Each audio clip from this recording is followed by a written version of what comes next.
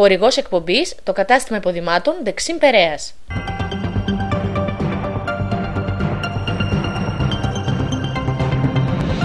Χαίρετε κυρίες και κύριοι, είναι το δελτίο ειδήσεων της Citizen Web TV. Την ώρα που οι εργαζόμενοι στην τοπική αυτοδιοίκηση συνεχίζουν τον αγώνα τους ενάντια στη διαθεσιμότητα, στην περιφέρεια Κεντρικής Μακεδονίας άρχισε η εφαρμογή του μέτρου.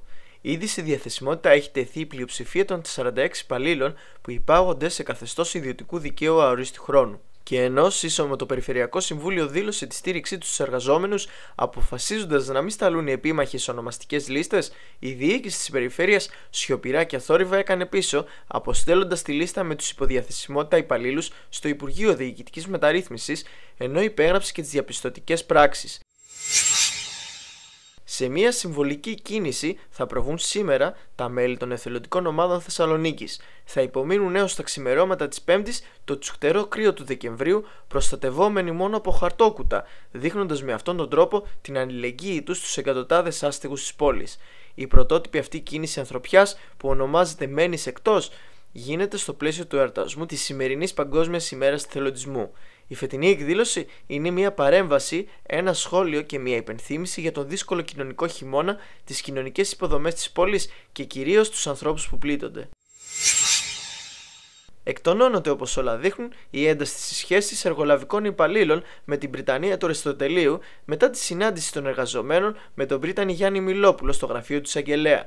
Σύμφωνα με πληροφορίες, κατά τη συνάντηση αποφασίστηκε η σύσταση 11 μελού επιτροπής αποτελούμενη από τις Βρυτανικές Αρχές, νομικούς του Πανεπιστημίου και εργολαβικούς υπαλλήλους, οι οποίοι θα εξετάσουν τα προβλήματα του Ιδρύματος. Μάλιστα, ο κ. Μιλόπουλος δεσμεύτηκε για αποπληρωμή μέρους των δεδουλευμένων των εργολαβικών υπαλλήλων εντός δύο ημερών, θέτοντας παράλληλα ζήτημα καθαρισμού των χώρων του Πανεπιστημίου από τα σκουπίδια.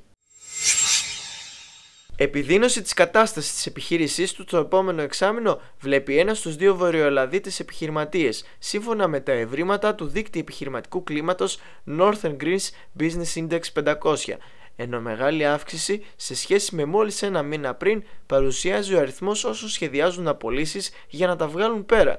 Την ίδια στιγμή μηδενική είναι πλέον η πρόθεση προσλήψεων.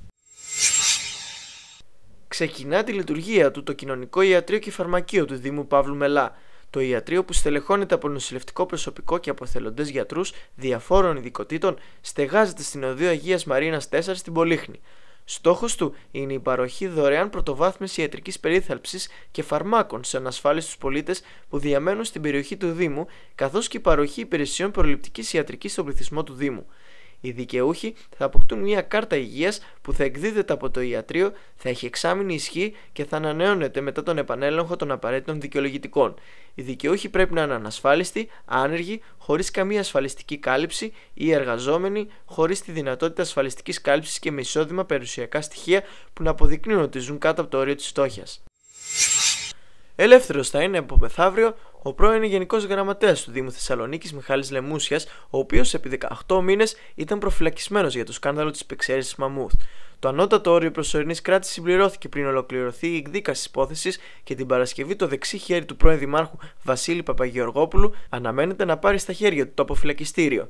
Μάλιστα, χθες το δικαστήριο επέβαλε και περιοριστικούς όρους εν ώψη της αποφυλάκησής του.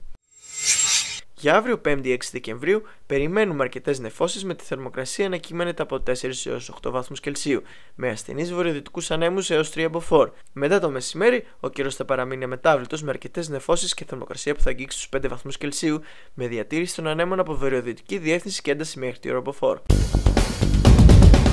Αυτό κυρίες και κύριοι ήταν το σύντομο δελτίο της Citizen Web TV. Σας ευχαριστούμε που μας παρακολουθήσατε.